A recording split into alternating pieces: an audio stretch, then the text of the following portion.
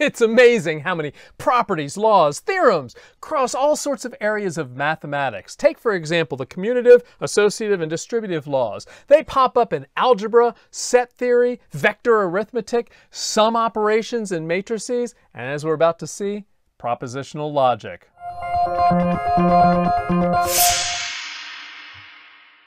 Proving laws in propositional logic takes only a truth table. Let's do something really simple. First of all, we've got this idea of complementation. All right, and so we could say the complementation law. Let's do it.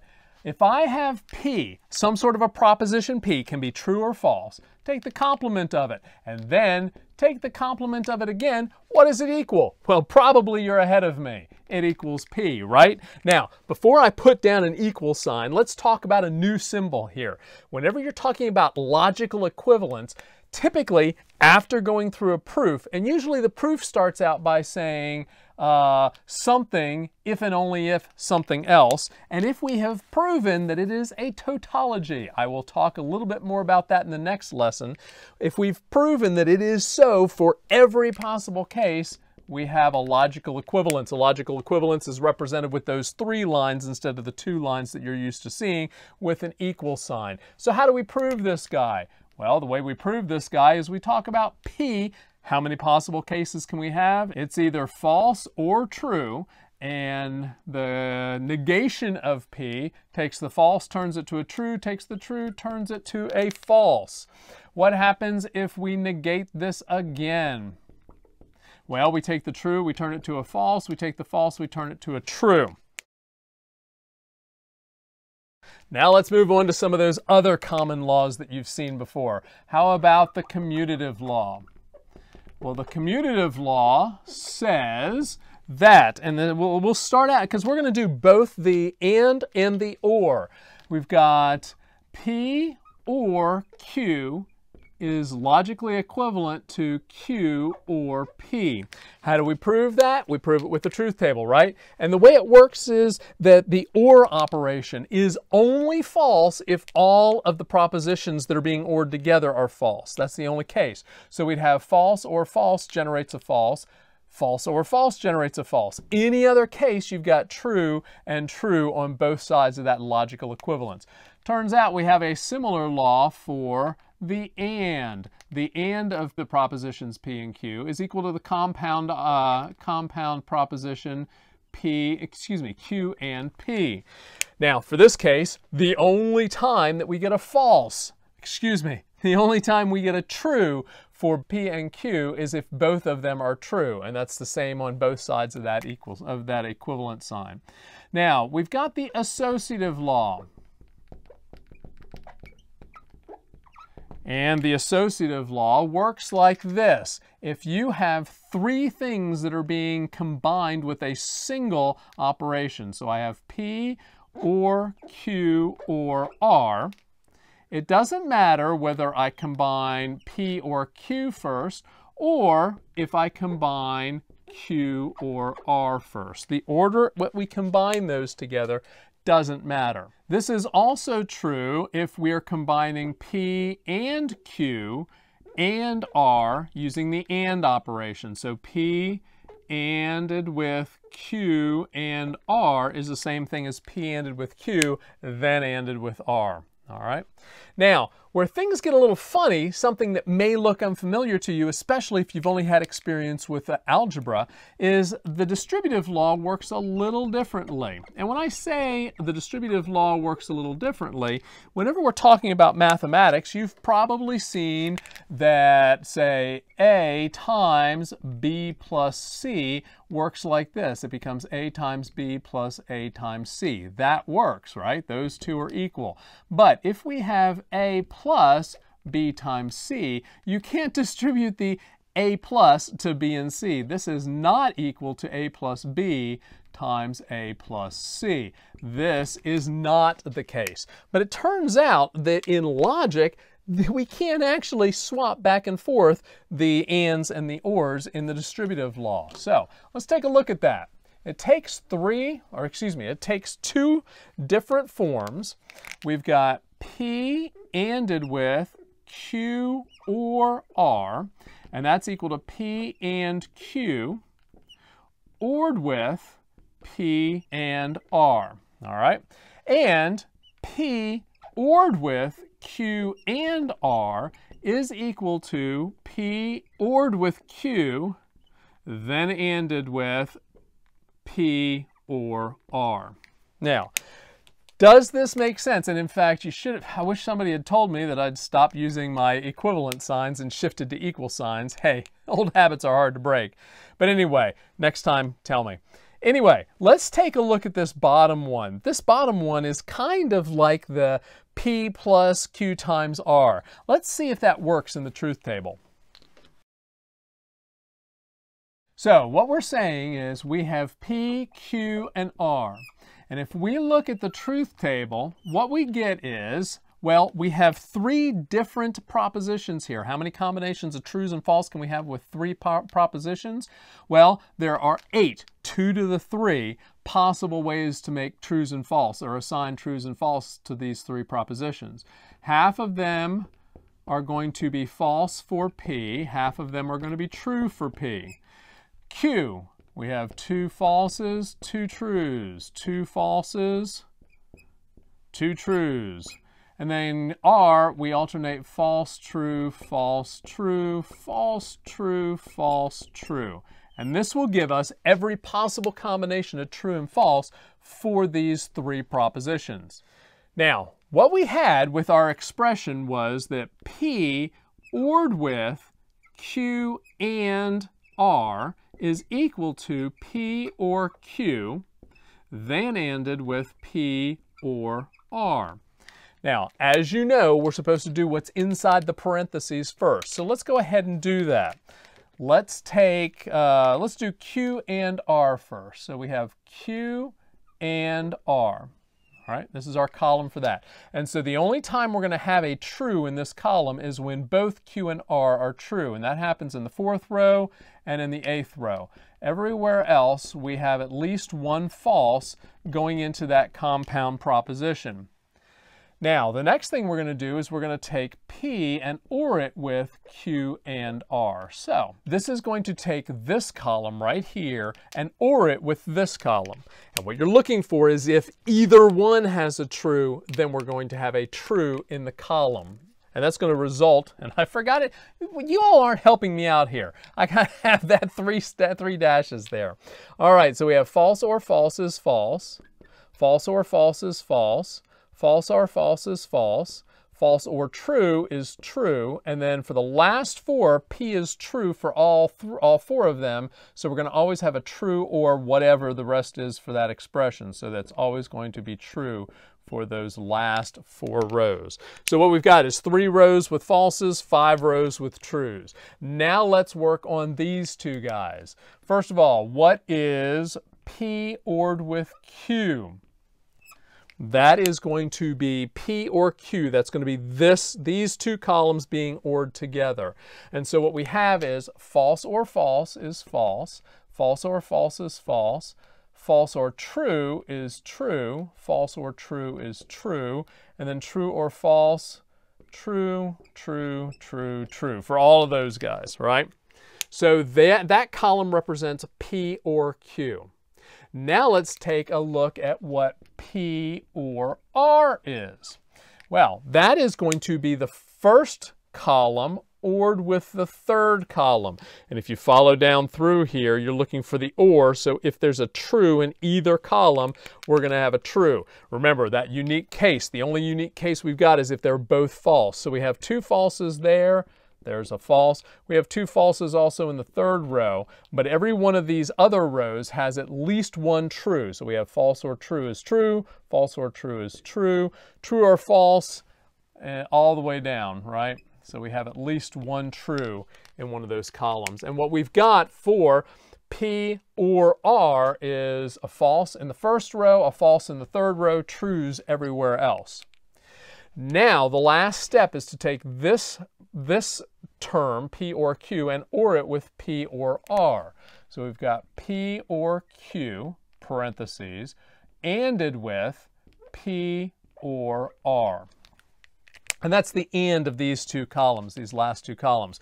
What does that look like? Well, if you've got an in, in, a false in either of the columns, you're going to have a false on the output. The only time that we're going to have a true as a result of that compound expression is if both of these columns have trues. So we have false, false, false, true, true, true, true, true.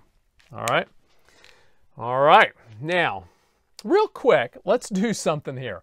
Um, and this is going to, we're going to go into this more in the next lesson, but whenever it comes to figuring out whether there's this equal sign, this, this illogical equality actually is, uh, it's, it's just simply a way to denote that the if and only if has been proven to be a tautology. Now I'm going to identify this column as S and this column as T.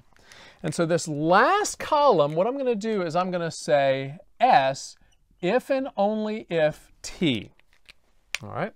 And so remember, the if and only if, it was looking for equality. You had a true result for this column if both columns had false or if both columns had true. If one was true and one was false, the result was going to be false. So we have false, false, that's true. False, false, that's true. False, false, that's true. Sounds kind of funny, doesn't it? False, false, that's true. But anyway, it's showing equality. True, true, that's true. True, true, that's true. True, true, it's true, true, true, true, true, true, true. All right? And you'll see that every single row, for every single row, this compound proposition right here is true for everything. And that is our tautology.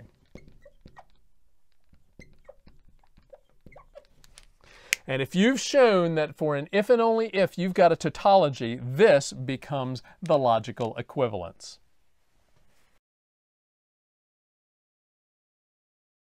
Now, what I'm going to do is create a summary of some other laws. All right, and when I say a summary of other laws, this is really about taking a single proposition and combining it with some either itself or what I would refer to as a constant, as a true or a false, something that is something that doesn't change, right? And so what we've got here is the OR operation and then the AND operation. Remember the AND is the caret, the OR is the little v.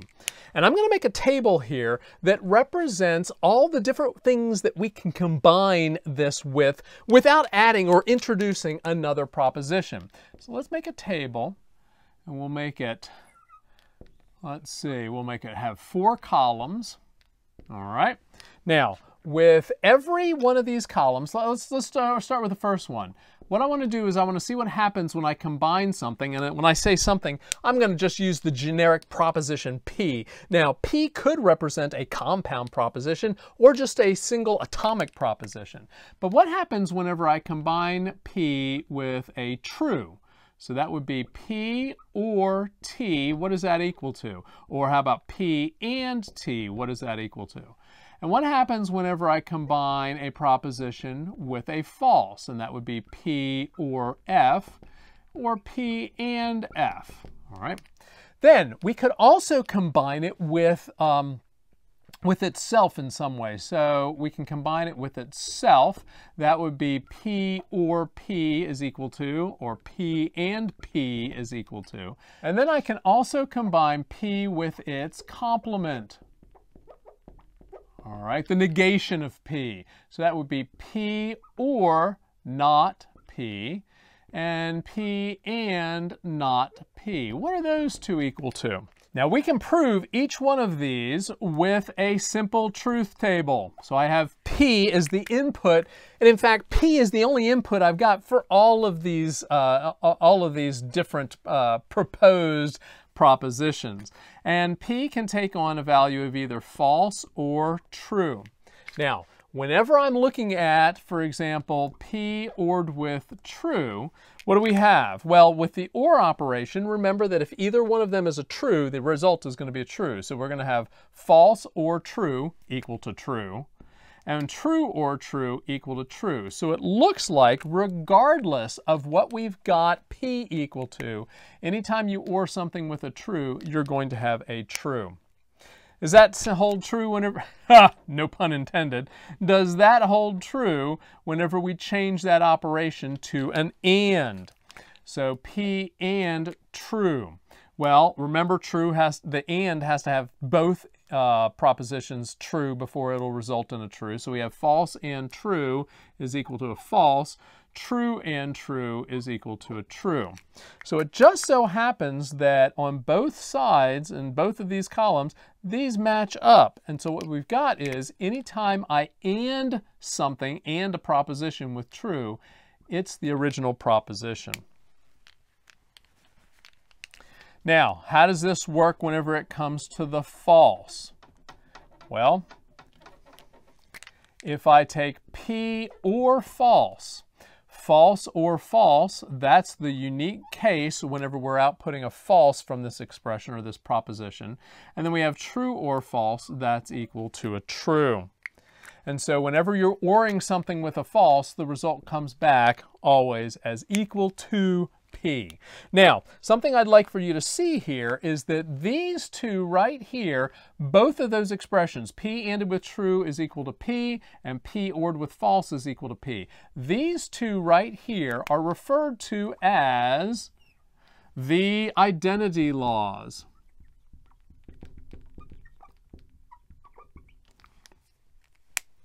All right.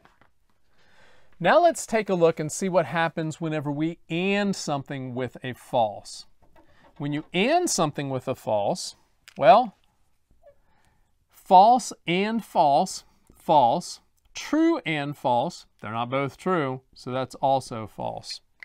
And we end up with anything being ANDed with a false is equal to false, which results in two other types of, of uh, properties or laws. These two right here, these two are referred to as the domination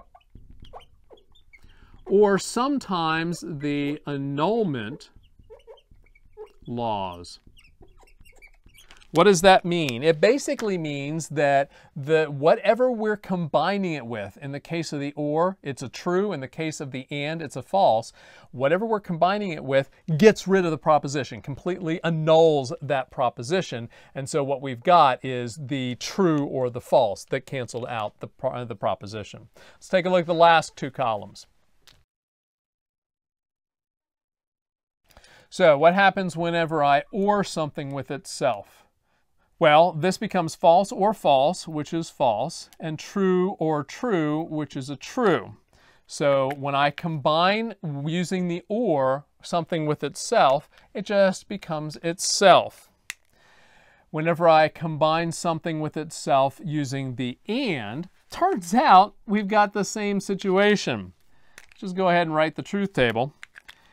False and false is false. True and true is true, which means that something anded with itself is also itself. Now these two also have a special name. These are referred to as the idempotent laws.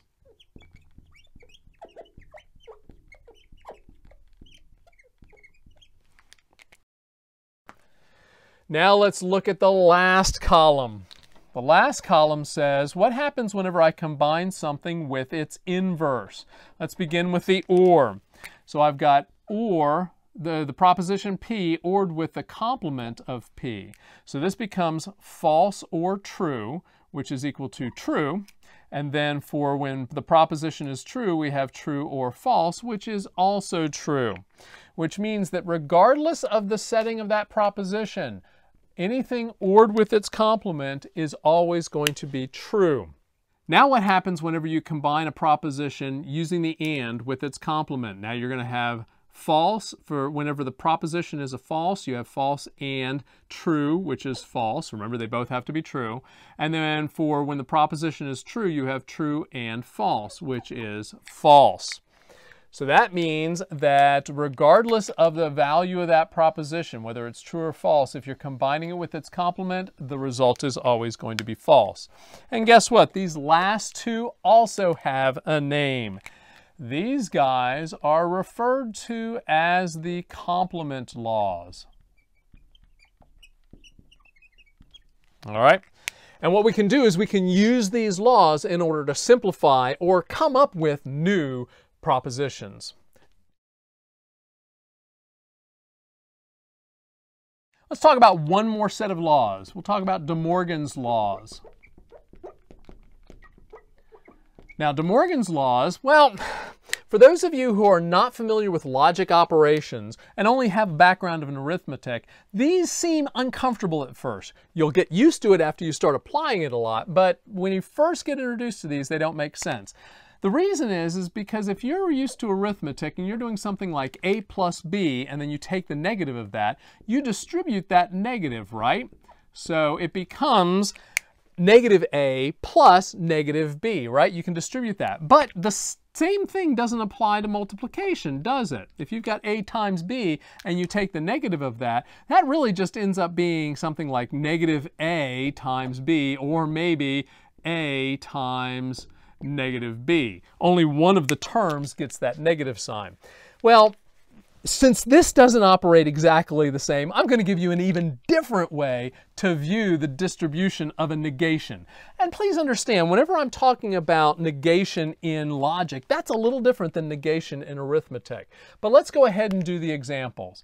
If I have the negation of P or Q, Turns out that I can distribute the negation to P and Q. So I've got negation of P and the negation of Q. That's fine. That's exactly the way we want to do it. Similar to addition, right? The problem is, is that this operation doesn't stay an OR. it's almost as if the negation applies itself to the operation and turns the OR into an AND.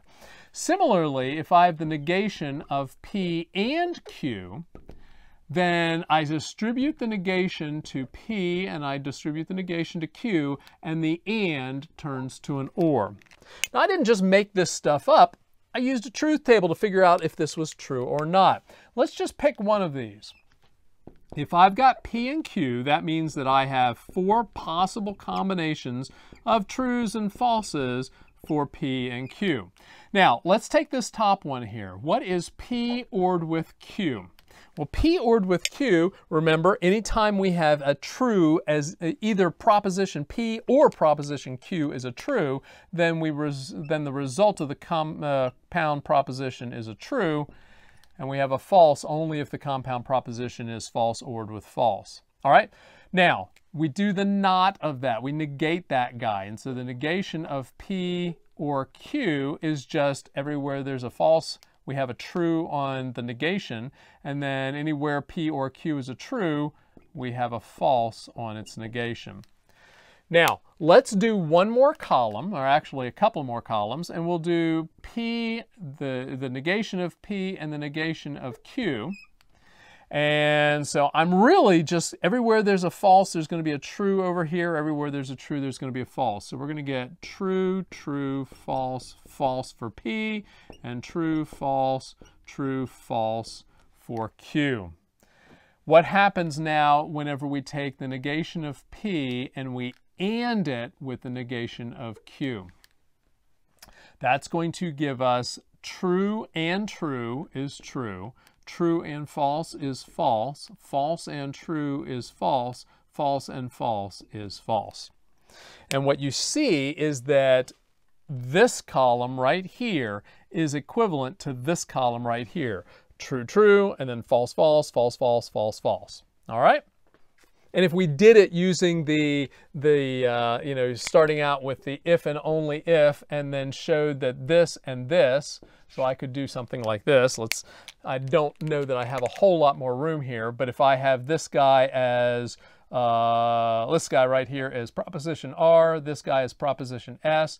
Do I have R if and only if S?